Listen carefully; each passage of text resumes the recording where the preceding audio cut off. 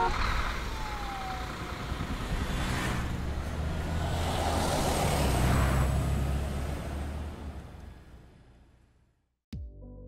everyone, my name is Tomasz and today I'll show you how to set up the modding kit for Bus Simulator 21.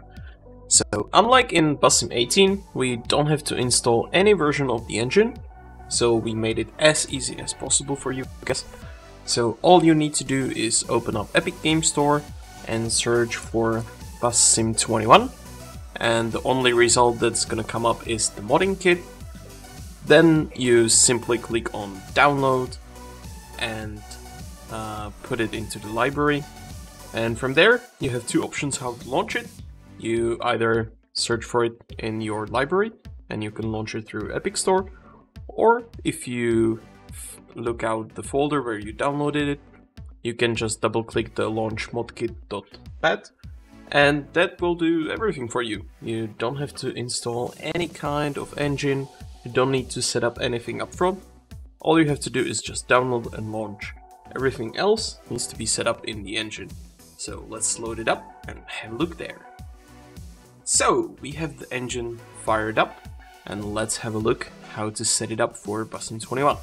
As you can see in the top right corner it says Bus 21 and we're on version 426-2 which is the current engine we're using for development and to see some actual content of the mod kit you need to go into the view options and take show plugin content.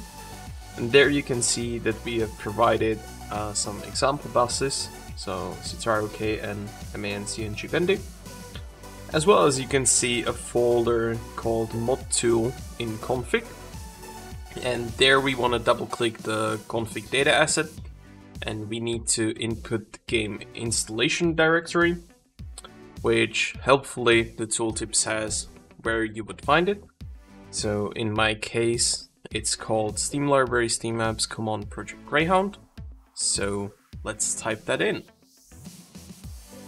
Alright, uh, everything typed in. So let's hit save on the config.